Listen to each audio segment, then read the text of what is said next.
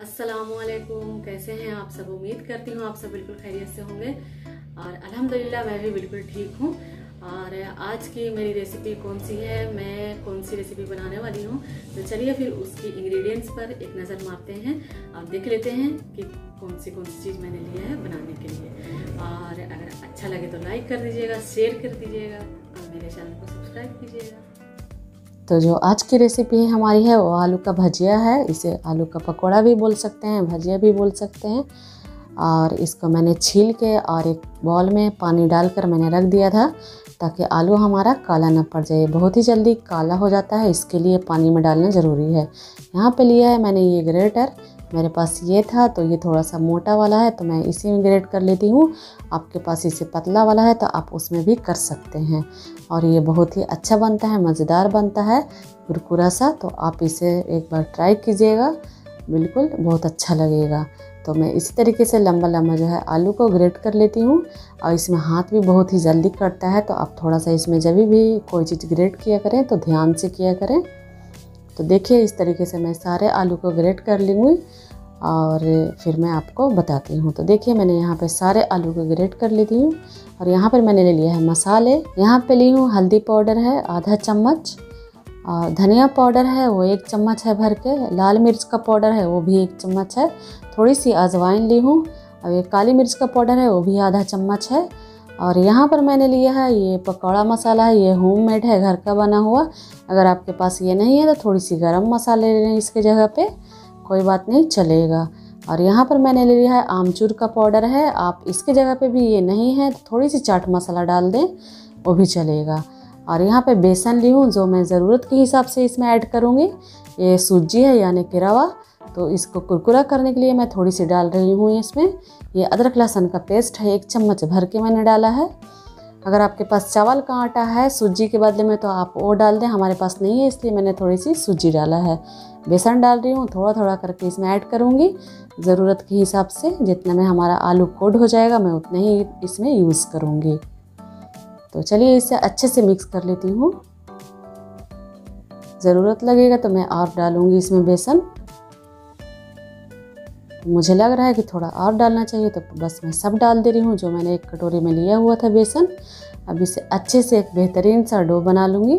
तो देखिए, इसमें मैंने पानी नहीं डाला है और इस तरीके का ये डो बन चुका है। तो अब मैं लास्ट में सबसे नमक डाल रही हूँ, क्योंकि नमक डालने के बाद हमारा आलू जो है वो पानी छोड़ देगा एक अपना खुद सा। तो इसमें पानी नहीं डालना है।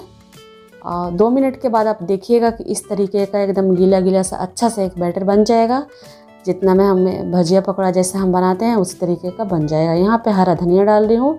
थोड़ी सी मैंने डाला है, ये सफ़ेद तिल है। अगर पसंद है तो डालें, वरना स्किप कर दें। इससे टेस्ट बहुत ही अच्छा आ जाता है। यहाँ पे हमारा तेल गरम हो रहा है। इसे अच्छे से मिक्स कर देती हूँ। तो देखिए, यहाँ पे मैंने अच्छे से मिक्स कर दिया है। अब तेल हमारा गर्म हुआ है कि नहीं, मैं चेक कर लेती हूँ। थोड़ा सा डालकर देख लेती हूँ तो तेल अच्छे से गर्म हो चुका है। तो एक एक करके धीरे धीरे करके सारे इसमें जो है कि पकौड़े को तेल की क्वांटिटी के हिसाब से इसमें छोड़िएगा, सावधानी से।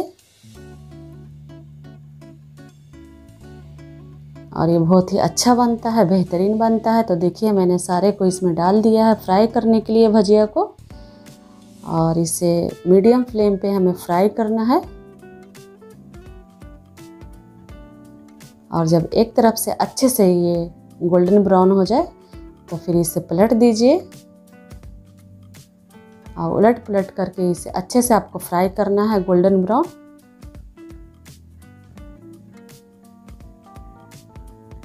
तो ये एक तरफ़ से सीख गया है, अच्छे से फ्राई हो गया है तो मैं इसे पलट दे रही हूँ।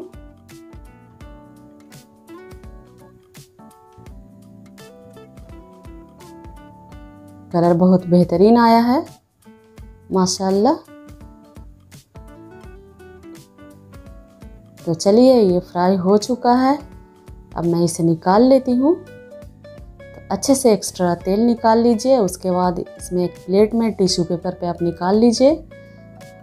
और बिल्कुल ये खाने के लिए रेडी है हमारा भजिया, आलू का। तो उम्मीद करती हूँ आप लोग को बहुत पसंद आएगा।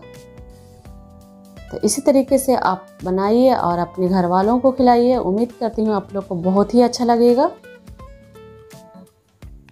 एक बार इस तरीके से मेरे स्टाइल से आप ज़रूर ट्राई कीजिएगा। इसे चाय के साथ खाइए, किसी चटनी के साथ खाइए, सॉस के साथ खाइए। खाने में बहुत मज़ा आता है, बहुत मज़ेदार लगता है, बहुत ही क्रिस्पी होता है, कुरकुरा होता है। तो अगर अच्छा लगा होगा तो लाइक कर दीजिएगा, शेयर कर दीजिएगा और मेरे चैनल को सब्सक्राइब कर दीजिएगा। फिर मैं मिलूँगी अगली वीडियो में तो बस आज के लिए इतनी अल्लाह हाफिज़।